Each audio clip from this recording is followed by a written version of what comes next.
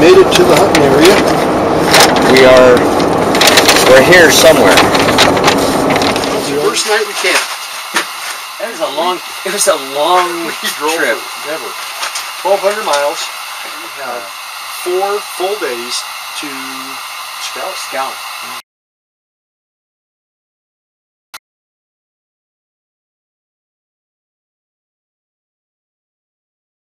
Okay.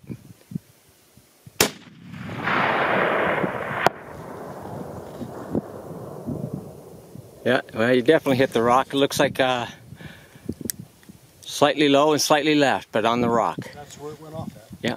Well, it's morning two of scouting. Four bulls scattered out over two square miles and some cows. So we climbed to the top of a peak. The time we got there, which wasn't 20 minutes, maybe half hour. 30 minutes. Yeah, okay. Uh, they were gone like smoke whoop, in the trees. And had this really good idea to hike down this ridge. I think we decided that the reward per effort on this one wasn't worth it. That's a D minus for sure. it Alan and I just spent the afternoon looking over six pretty good bulls. Yes. 260 to 310. And it's Thanksgiving. And yeah, we were struggling to find mature bulls. We saw, a lot of raghorn spikes, cows. Tonight's the first time we saw any good mature bulls. So, so now it's supposed to rain nonstop until 8 tomorrow, like 100%. Eight, eight in the morning, 8 in the morning. and then turn to snow. And then it's going to snow 100% until all day, as far as the weather forecast goes. So. well, we're sitting in the t- kind of tent bound today because it's snowing so hard outside, and Alan and I were sitting talking about optics and how really important. They're probably the most important thing to a good hunt is your optics.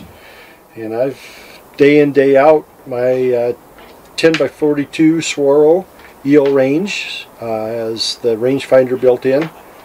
It's it's top dog. I really love it. And Alan's using. I'm using the Vortex. I've been using Vortex now for about three, four years. Uh, Vortex. I'm using the razors. Vortex's razor is their top line. Yeah.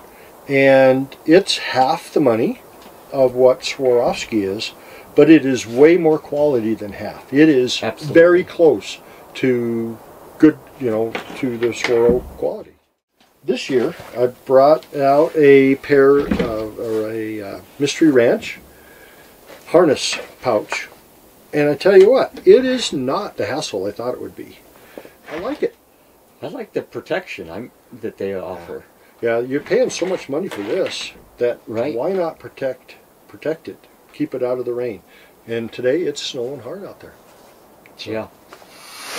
Opening day was yesterday, Yesterday. Yeah. and we actually never went anywhere. It snowed so hard all day.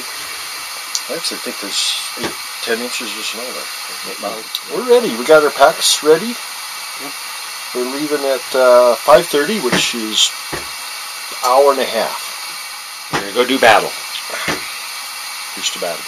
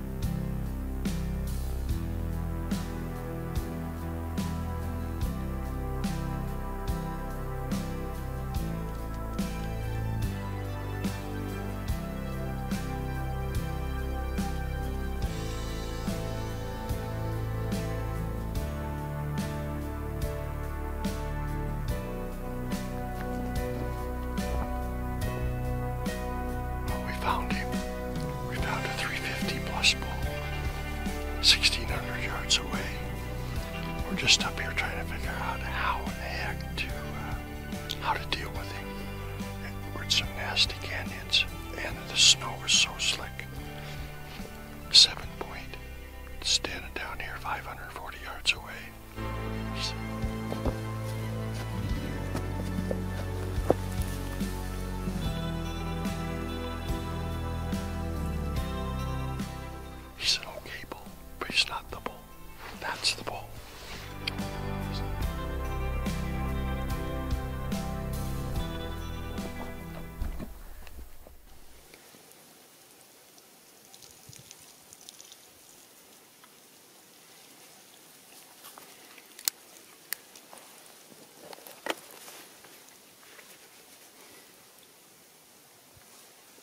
End of the first day of First hunting. day of hunting, second day of the seven day season.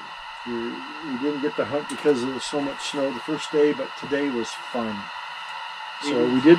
We saw nine bulls today, and about a half hour before dark, we saw about a 340, 350 bull. Yep. At 1,583 yards. If we can find him in the morning, we're going to go back to the same spot. We have a plan where we think we can pack him out, and we have a plan on how we're going to go get closer to him. It's a pretty morning. It is a gorgeous morning. Arizona sky. Things go right. We're not going to see this vehicle until way after dark. Ooh, this Maybe. machine is awesome. Can-Am Maverick. I'm impressed. I follow you. Day two. Day two.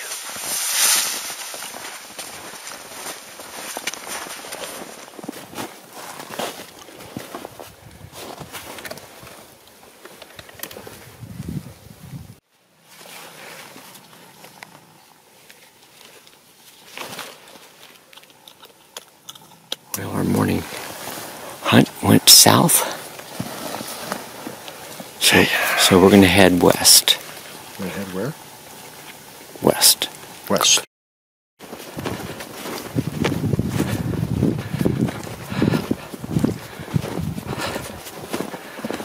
Okay. Mr. Rob, maybe give us a quick synopsis. Well, we uh, made it back to where we saw the, the 350 bull, and we saw him. And uh, there was four guys from Flagstaff sitting on him, and including having a couple guys with one guy with the tag above him. So we decided to execute Plan B, and when that formulates, I'll let you know. Feels like spring out here. Bright, snow is melting everywhere. Just came back to the tent and had lunch. We were the first day that looked so good, but there was a camp right close to it. And uh, it didn't go so good this morning on the big bull. Uh, so now we're going to go back.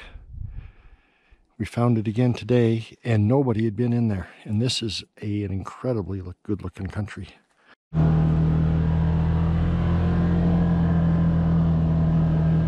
So you can see over there, that's where we were this morning on that mountain. That's where the 340 bull was surrounded by four guys from Flagstaff.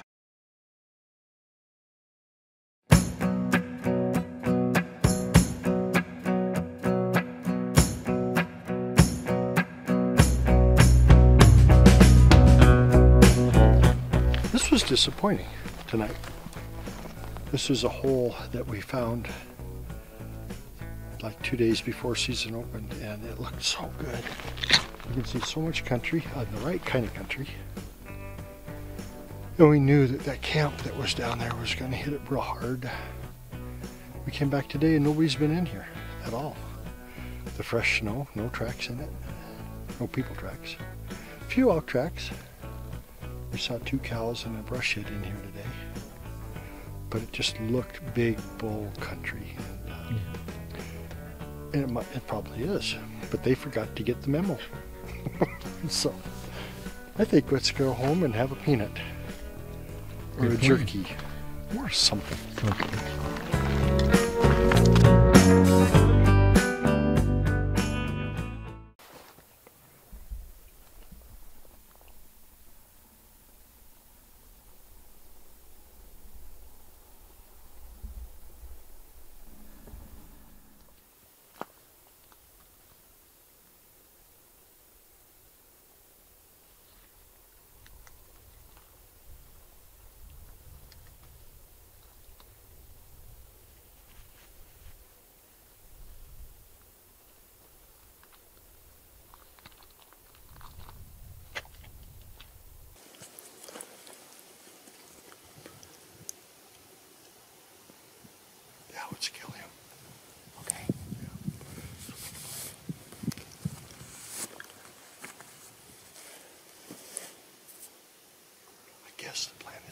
you to. Okay, I don't think we do it this morning. Right, over, right behind me over there against the cliffs, we spotted a, uh, we saw two bulls this morning. One like five point, but uh, anyway, we put this 320 bull to bed. He's right at the break of slope underneath the cliffs over there behind me. He's right at a mile away. So Alan and I have developed a plan. We got our route figured out. And we're going to slip down into this canyon and then we've got the spot picked out. We think we can see him when he stands up.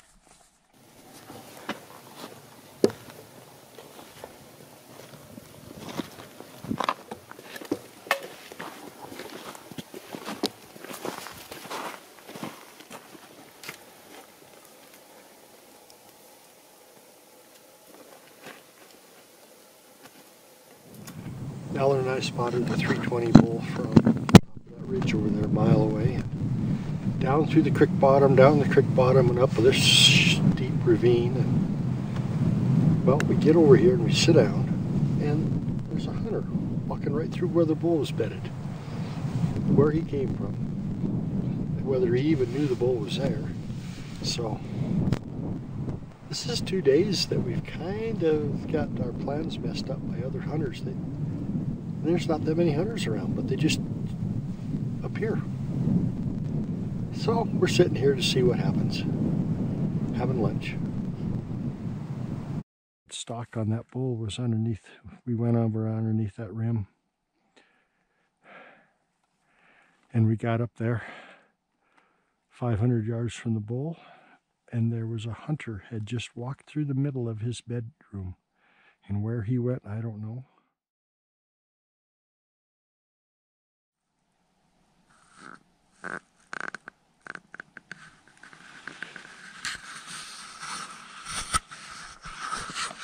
There's a spike bull 700 yards underneath us.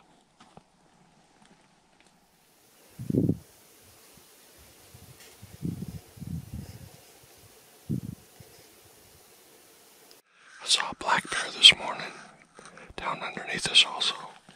I really thought that spike was probably the 320 bull that we a hunter kind of foiled our stalk yesterday. But as it turned and he was